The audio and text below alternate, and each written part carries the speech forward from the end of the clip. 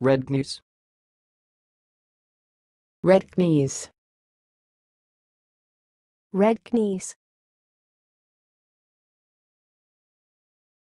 Thanks for watching. Please subscribe to our videos on YouTube.